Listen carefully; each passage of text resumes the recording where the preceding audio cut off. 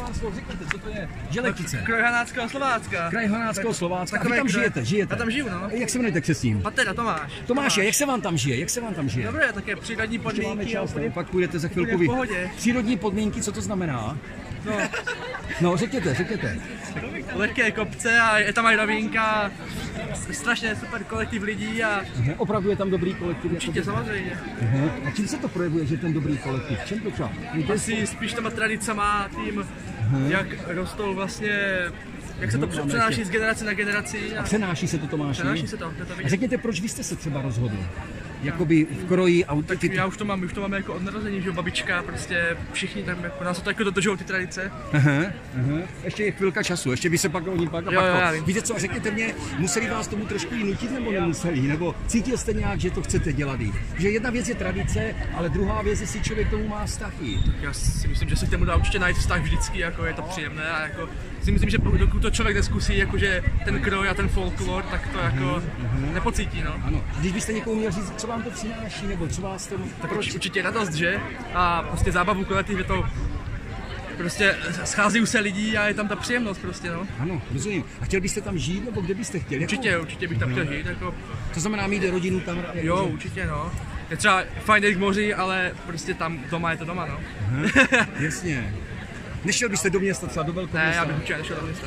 Vesnice tam jako, my nejsme velká obec, takže jde to určitě vidět, no. A víte co, ještě, ještě pořád, jo teď, ještě řekněte mi, co jsou to za to, toto je typické, to není jinde skoro, ne, toto. Proč se to tak udrželo u vás, toto?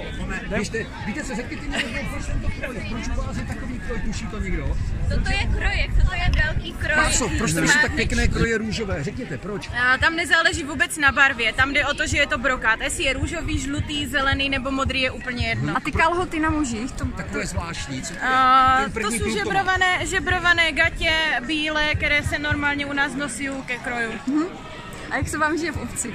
Krásně. Mě, mě, měnila byste Ne. za nějaké velké město? A proč? Ne, určitě ne, na dědině je to nejlepší. Jo, a co tam máte tak úžasného, krásného? Řekněte. To ticho a klid. Aha, rozumím. Tak jo, děkujeme. Co by šlo říct k Ratíškovicám na internet, řekněte pár slov. Ratíškovice jsou veliké, ne, místo? Ano, Zkuste je to čtyřtisícová obec. Jo, tak to už je město. Ne, to je obec, pořád jsme obec. Aha. A tam máme pana starostu, já jsem místo starosta. No, a řekněte, jak, Takže- si, jak si žije v Ratíškovicích spolkově, potkávají se tam ještě lidi? Určitě, máme soubory, jeden právě teď slyšíte, Natočíme. Malena, ano, cymbálová muzika. Za chvilku dojde de- dechová hu- muzika veselá, takže spolkový život žije. A tam vidíte mladí, kteří mají ru- takzvané růcha, to se používá u nás při tanci takzvaná růchová. Takže A máte, pokud je o mladé lidi, myslíte si, že bude eh, snaha zůstávat? Určitá část mladých chce zůstat, nebo spíš utěkají všetci do je to problém, ano. je to problém? Co Hlavně, znamená? hlavně studovaní, když studují v Praze, v Brně, tak zůstávají, bohužel. A nebo dokonce Evropa, nebo svět prostě. Aha. Víte co, je, existuje způsob, jak je přitáhnout zpátky. Co si myslíte, že by se z pohledu místo starosty mohlo udělat, nebo dalo obecně, aby mladí lidé v těch Tak obcích... určitě, aby měli to adekvátní zaměstnání k tomu svému povolání. Ano, ano. A to není jednoduché asi, A ne? to není jednoduché v regionu, takové malé.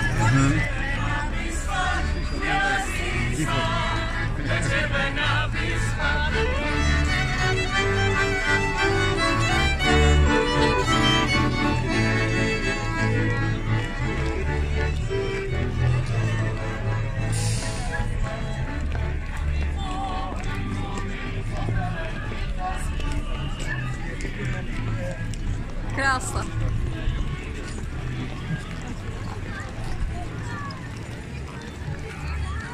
Mm-hmm.